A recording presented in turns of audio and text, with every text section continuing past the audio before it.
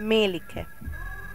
Ko so melici potrebovali veliko zemlje, so za poveljnika kolonizatorjev postavili nimfaja, mladega in nenavadno lepega moškega.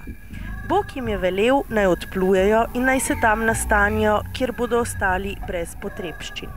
Zgodilo se je, da so pripluli do Karije in jim je po pristanku nevihta uničila ladje, zato so se izkrcali.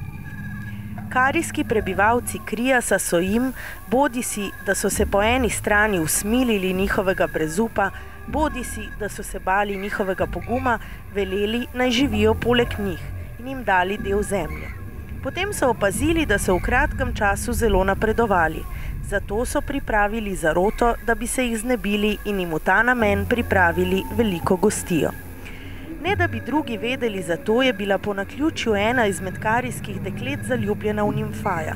Ime ji je bilo kafene. Ko so snovali načrt, ni mogla prenesti, da bi nimfaja ubili, zato mu je razkrila načrt someščanov. Ko so jih torej karici povabili, je nimfaj rekel, da Grki nimajo navade, da bi šli na večerjo brez soprog. Ko so karici to slišali, so jih pozvali naj pripeljejo tudi žene. Nimfaj je povedal melicam, kaj so jim pripravili in jim ukazal, naj sami pridejo brez orožja v plaščih, vsaka izmed soprog pa naj v naročju skrije meč in se usede poleg svojega moža. Ko je bil sredi obeda karicam dan znak, so Grki spoznali pravi trenutek. Vse žene so istočasno odprle naročje, možje pa so vzeli meče, napadli barbare in jih vse pobili. Potem so osvojili deželo, razdejali tisto mesto in se naselili v drugem, ki so ga poimenovali Novi Kriasos.